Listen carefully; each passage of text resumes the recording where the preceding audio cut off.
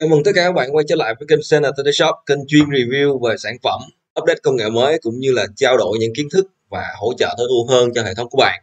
Thì ngày hôm nay thì à, uh, theo mặt kênh Senator Shop Channel thì mình sẽ chia sẻ một xíu về những kiến thức về Wi-Fi và phiên bản là cơ bản.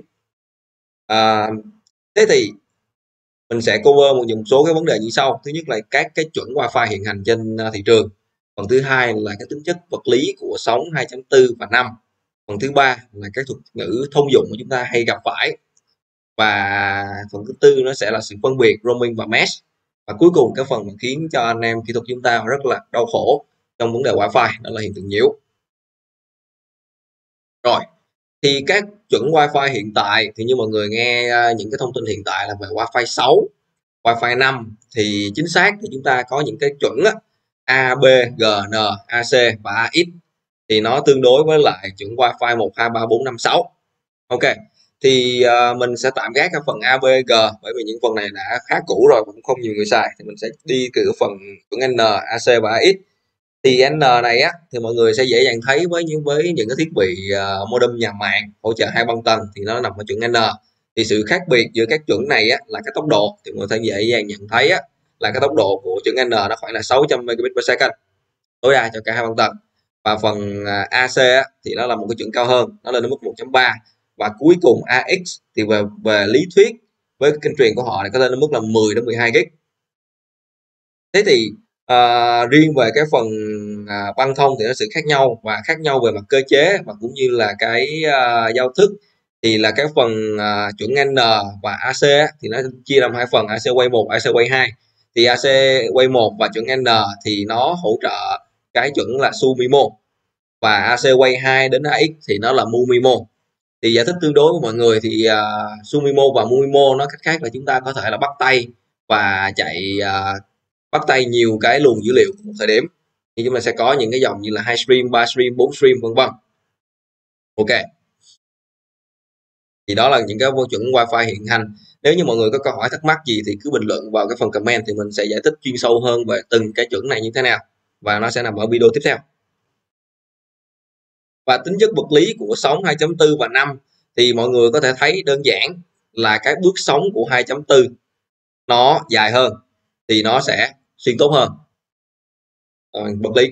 Nhưng mà nó sẽ nhiễu cao hơn bởi vì ở đây á, do bước sóng dài nên là cái số kênh chồng lấp của nó khi mà truyền sóng, nó chỉ có ba kênh, một sáu 11 tại à, môi trường Việt Nam. Và cũng như là do là cái độ rộng kênh của nó maximum là 40 MHz nên là nó sẽ tải thấp. Và tương quan thì chúng ta sẽ có 5 GHz thì là cái độ, do bước sóng nó ngắn nên là độ xuyên nó sẽ kém. Nhưng mà bù lại thì nó sẽ ít nhiều hơn, bởi vì cái số kênh mà có thể sử dụng lên nó mức là 27 kênh không chọc lắp cũng như là cái độ tải nó cũng sẽ cao hơn.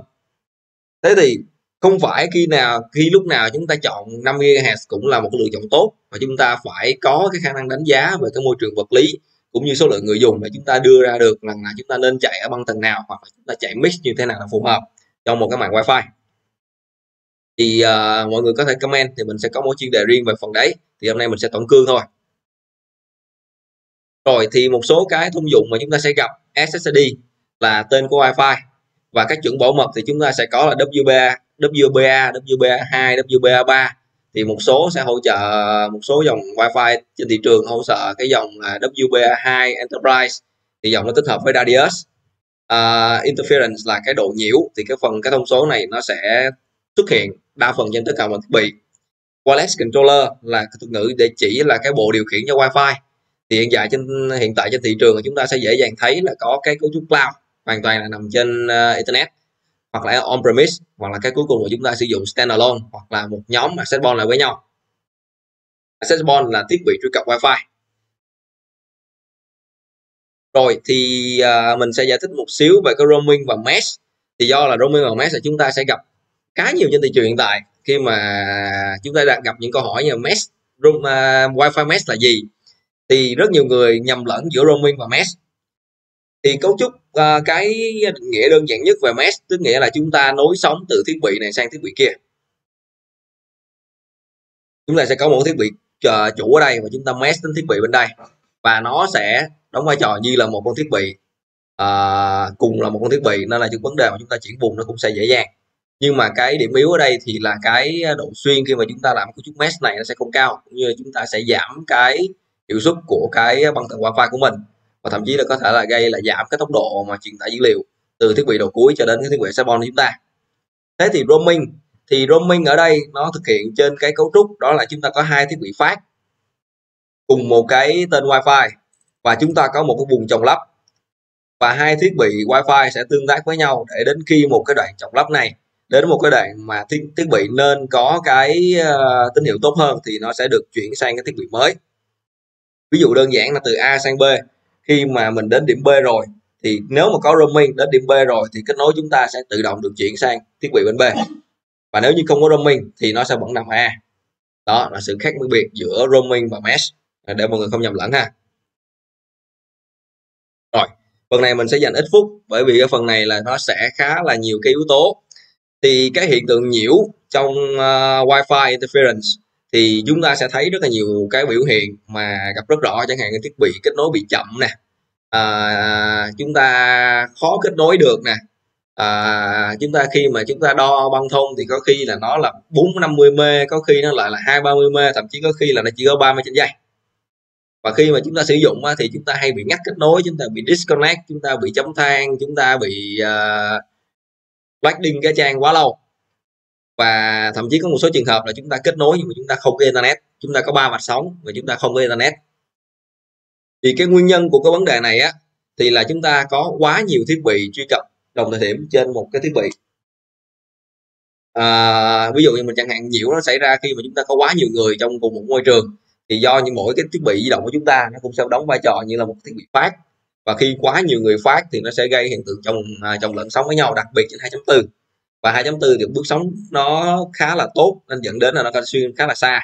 Và nó sẽ gây chồng lẫn với nhau, tạo nên cái sự nhiễu này. Và một cái phần khác, những phần này sẽ là khá là thú vị, thì đối với lại wifi ấy, thì nó sẽ bị ảnh hưởng khá nhiều với những cái vật liệu sau đây. Thứ nhất là nước, thứ hai là những vật à, vật liệu từ gỗ, giấy và lá. Và thứ ba đó là về sắt, và thậm chí là khói bụi nó cũng gây ảnh hưởng đến à, đến wifi và tùy à, vào cái độ mà phủ của nó thì cái wifi chúng ta sẽ bị ảnh hưởng đến rất nhiều. Thì một câu hỏi vui, đó là cơ thể con người nó có hạn chế wifi hay không? Câu trả lời cho mọi người là có, bởi vì cái cơ thể chúng ta đa phần là nước và nước thì nó sẽ hấp thụ wifi. Thì nhiều anh em cũng hỏi mình rằng là cái phần mà wifi nó có ảnh hưởng đến cơ thể người hay không? Thì câu trả lời của mình là chưa có nghiên cứu nào chỉ ra rằng là chúng ta có cái vấn đề mà wifi ảnh hưởng đến cơ thể con người nhưng mình chỉ biết được rằng là nước hấp thụ wifi và cơ thể người con người chúng ta 60% là nước.